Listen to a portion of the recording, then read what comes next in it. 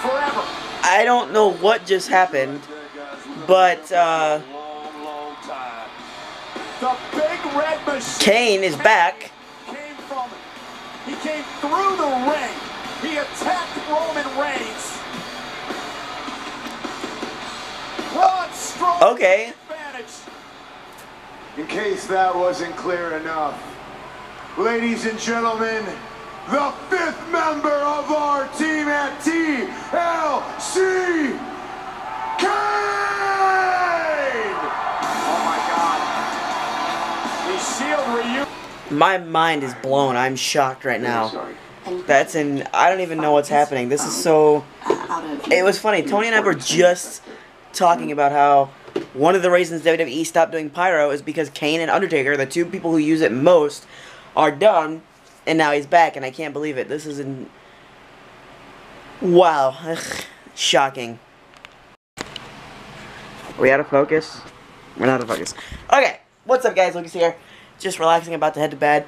Um, tonight's Raw was lit. Just kidding.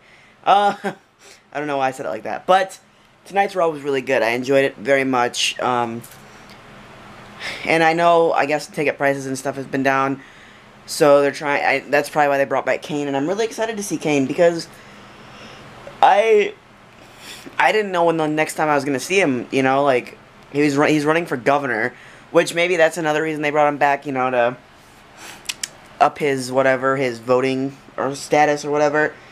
But uh, really weird to see Kane back and standing with Braun Strowman. They're up to something with that. I don't know if it's gonna be like a new team or watch him do something really stupid like have Kane be Braun's dad or something stupid like that.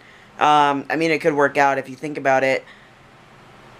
Braun like exited the ring like they stared down with Undertaker a couple months ago, or not a couple months ago, like seven months ago, and uh, then he then he like got out of the ring like respectfully. It was really weird. I mean, maybe that's where they're going. Like Braun's gonna be a member of the the family of the Undertaker and Kane, which I whatever.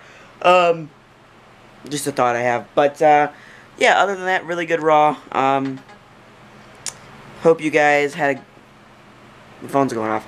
Hope you guys had a good day today. My day was pretty much crazy.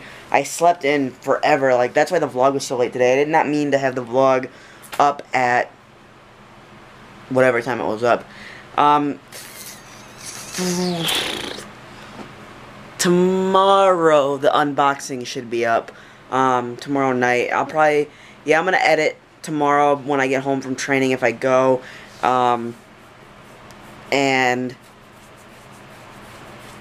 um, get it uploading during SmackDown so that I can live stream um, after Horror Story, or it'll upload during SmackDown on American Horror Story.